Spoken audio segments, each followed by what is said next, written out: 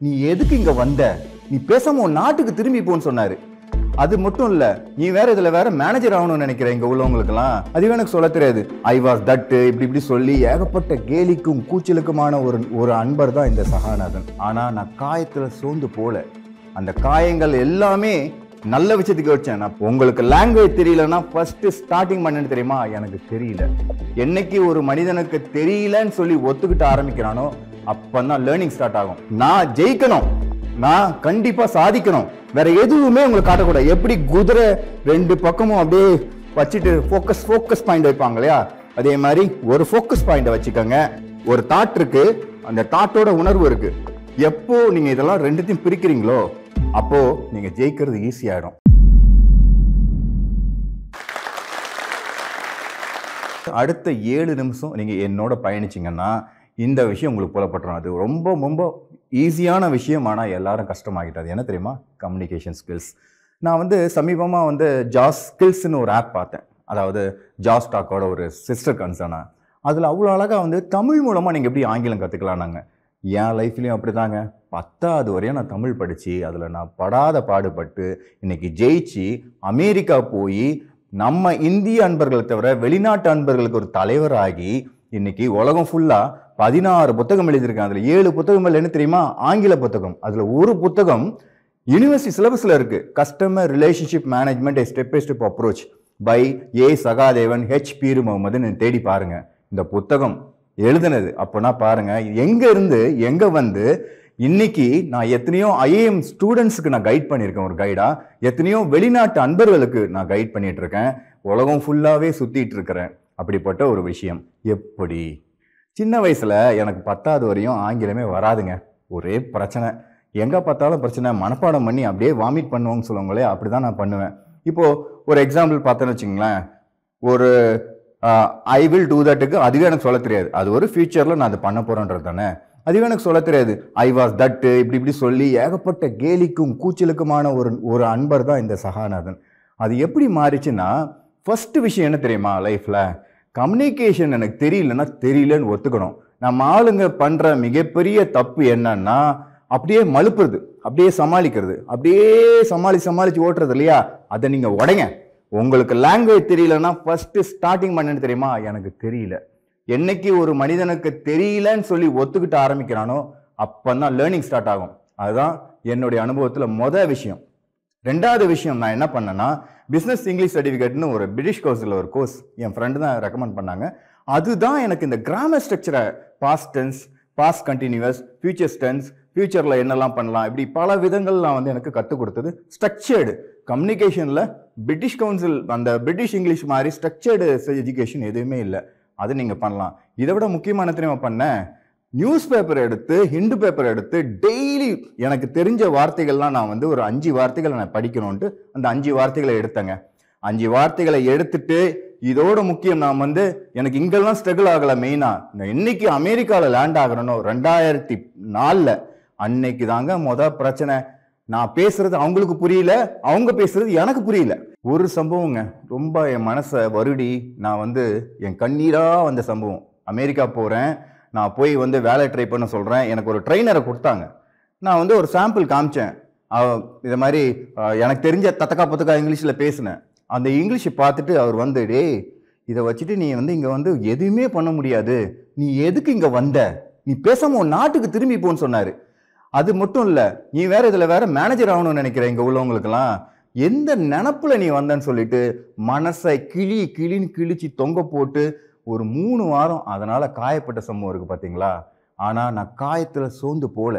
அந்த காயங்கள் எல்லாமே நல்ல விஷயத்துக்கு வச்சேன். நான் பிரச்சனைகளை சோத்து போல. பிரச்சனைகள்லாம் ஜெயிப்பதற்கேன்னு வந்தேன். நான் விழுந்து போல. விழுவதெல்லாம் எழுவதற்கேன்னு எந்திரிச்சு நிற்கிறேன் இன்னைக்கும் நிற்கிறேன் இனியும் நிற்பேன் நம்ப மாட்டீங்க நண்பர்களே. Only three to four months அப்படியே மாறினேன். சும்மா தடவு தடவுன்னு கம்யூனிகேஷனில் இருந்தவன் அப்படியே போயிட்டு பத்து பேருக்கு தலைவரான ஒரு மேனேஜரான அந்த பத்து பேரில் அஞ்சு பேர் நம்ம நாட்டுக்காரங்க கிடையாது. வெளிநாட்டுக்காரங்க. ஆனால் அந்த முயற்சி முதல் சொன்ன அந்த ஆக்டிவிட்டீஸ் இந்த மாதிரி ஒரு விடாமுயற்சியில் அப்படியே வந்ததுதான். இந்த முயற்சியோட நம்ம இது பண்ணணும். சரி இப்போ முக்கியமான விஷயத்துக்கு வரேன். இது எல்லாம் ஆயிடுச்சு. இத்தனை இத்தனை விஷயத்த நம்ம பண்ணிட்டோம். ஆனால் இ- அடுத்த ஸ்டெப்புக்கு ஜெயிக்கணும் இல்லையா? சும்மா வெறும் கம்யூனிகேஷன் கம்யூனிகேஷன் மட்டுமே கிடையாது. ஒரு லாங்குவேஜ் மட்டுமே கிடையாது. நீங்கள் ஒரு லேர்னிங் பர்சனாக இருக்கணும். ஒரு பிளானிங்காக இருக்கணும். ஃபர்ஸ்ட் திங் பிளான் பண்ணுங்க.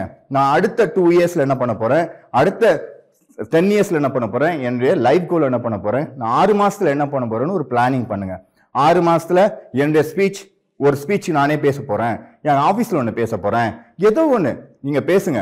Language should should not be a barrier அதுதான் உங்களுக்கு வேணும். ஒரு அம்மா கிட்ட இருந்து ஒரு பையன் எப்படிங்க கற்றுக்கிறாங்க பையோ பொண்ணு பையனோ பொண்ணும் அப்படியே அப்சர்வ் பண்ணி கற்றுக்குறாங்க இந்த ஒரு சீக்கிரட்டை புரிஞ்சுக்கோங்க.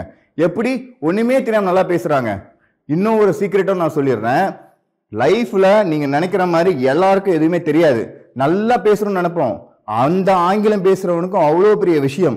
ஈவன் பெரிய பெரிய சிஇஓ ஆகட்டும் எல்லாம் ஆகட்டும் ஒரு ஸ்கிரிப்டை ஃபஸ்ட்டு ரெடி பண்ணிவிட்டு அதுக்கப்புறம் தான் பேசுகிறாங்க அதனால் இந்த ஸ்டைலை நீங்கள் கொண்டு வந்துடுங்க இந்த ஸ்டைலை கொண்டு வந்துட்டு உங்களுக்கு என்னென்னலாம் வந்து தடுக்குதோ அந்த தெரியலன்றதை ஒத்துக்கிட்டு அப்படியே போய்கிட்டே இருந்தீங்கன்னா போகிறோம் ரெண்டே ரெண்டு கதையில் வரேன் நடந்த கதை.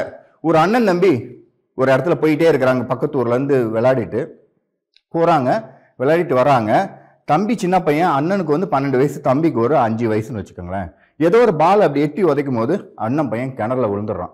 கிணத்துல தண்ணியில் தத்தி தத்தி ஏறி மேலே வரையும் வந்துட்டான். இன்னும் ஒரு நாலு அடி ஏற முடியல. தம்பி காப்பாத்து காப்பாத்து நான் தம்பி எவ்வளோ ட்ரை பண்ணுறான் ஆனால் ஒரு மேஜிக் நடந்தது. தம்பி அவங்க அண்ணனை எடுத்து உள்ளே போட்டான். எடுத்து விட்டோன்னு அப்படியே ஊர் மக்களுக்கு போய் சொல்கிறாங்க எல்லாருக்கும் ஆச்சரியம். ஏய் உன் நான் உன் தம்பிக்கு இவ்வளவுதான்ப்பா வயசு ஆகுது அஞ்சு வயசு தானே ஆகுது? எப்படி வந்து காப்பாத்தினான்றது சீக்ரெட் இதே மாதிரி இன்னொரு சம்பவம். அமெரிக்காவில் தன் தாய் வந்து வீட்டுக்குள்ளே இருக்காங்க. அந்த சின்ன குழந்தை கார் கீழே போயிடுச்சு. அந்த குழந்தை கார் எடுக்க போகிறாங்க அந்த தாய் என்ன பண்ணாங்க? ஏறி போய் அந்த காரை அப்படியே தூக்கிட்டாங்க. அப்படி தூக்கணும்னு ஒன்று எல்லாரும் ஆச்சரியப்பட்டாங்க. என்ன பண்ணீங்க? இந்த ரெண்டு ஸ்டோரியில ஒன்னே ஒன்று தான். அவங்களுக்கு அந்த டைம்ல வேற எதுவுமே கிடையாது. அந்த தாய்க்கு தான் குழந்தையை காப்பாற்றணும் அந்த தம்பிக்கு தான் அண்ணனை காப்பாற்றணும் ஸோ உங்களுக்கு வந்து என்ன இந்த ஸ்டோரியிலேருந்து உங்களுக்கு கிடைக்குதுன்னா நான் ஜெயிக்கணும். நான் கண்டிப்பாக சாதிக்கணும். வேற எதுவுமே உங்களுக்கு காட்டக்கூடாது. எப்படி குதிரை ரெண்டு பக்கமும் அப்படியே வச்சுட்டு ஃபோக்கஸ் ஃபோக்கஸ் பாயிண்ட் வைப்பாங்க இல்லையா? அதே மாதிரி ஒரு ஃபோக்கஸ் பாயிண்ட்டை வச்சுக்கோங்க. அதோட இன்னும் ஒரு முக்கியமான ஒரு காம்பனன்ட் இருக்கு அன்பு நண்பர்களே. நான்கு சேரை இமேஜின் பண்ணுங்க சேர் ஒன் ஃபர்ஸ்ட் வந்து ஒரு ஒரு உங்களுக்கு வந்து கம்யூனிகேஷன் இந்த ப்ராசஸில் நிறைய சிக்கல் வரும். சிக்கல். சேர் டூ சோகம். சேர் ஃபோர் இம்ப்ளி என்ன பிரச்- எப்படி சால்வ் பண்ணலாம்? சேர் ஃபோர் அதை இம்ப்ளிமெண்ட் பண்ணுறது நம்மளுடைய பிரச்சனைகள் என்ன தெரியுமா? நல்லா இமேஜ் பண்ணுங்க நாலு சேரில் ரெண்டாவது சேரை கட் பண்ணிடுங்க. ரெண்டாவது சேரை நீங்கள் கட் பண்ணிங்கன்னா பிரச்சனை எனக்கு ஏதோ கேலி பண்ணுறாங்க என் கம்யூனிகேஷன் இது பண்ணுறாங்க உடனே நான் என்ன பண்ணணும் அதுக்கு?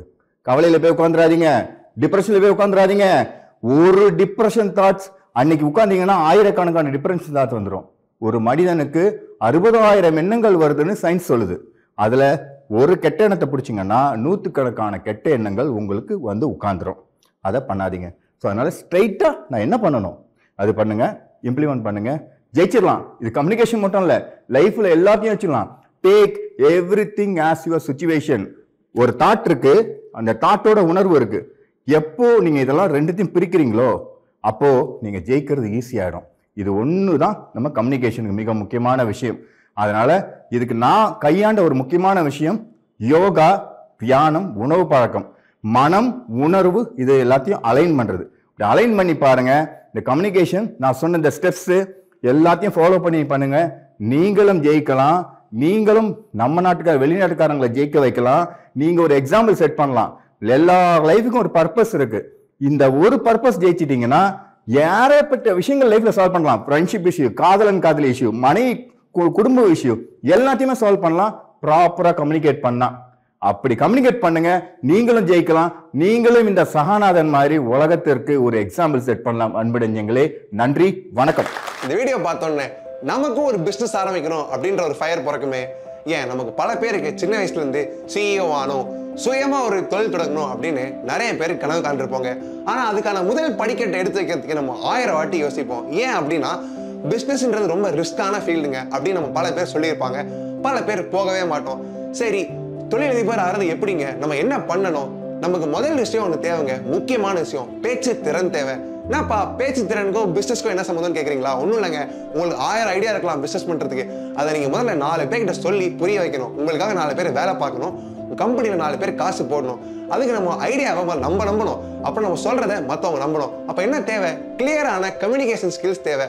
அதுக்கு ஹெல்ப் பண்ண தான் நாங்கள் இருக்கோம் ஜோ ஸ்கில்ஸ் ஜோ ஸ்கில்ஸில் நீங்கள் இங்கிலீஷும் கம்யூனிகேஷனையும் கற்றுக்க மட்டும் செய்யாமல் லைவாக ப்ராக்டிஸ் பண்ணி பார்க்கலாம். அதுவும் இந்தியாவில் இருக்க ரெண்டு லட்சத்துக்கும் மேற்பட்ட மாணவர்களோட அப்புறம் வெயிட் பண்றீங்க. இன்றே ஆரம்பிங்க. தொழிலதிபர் பயணத்தை. இந்த வீடியோ உங்களுக்கு பிடித்திருந்ததுன்னா ஃப்ரெண்ட்ஸோட ஷேர் பண்ணுங்க. கருத்துக்களை மறக்காம கமெண்ட்ஸ்ல பதிவு பண்ணுங்க.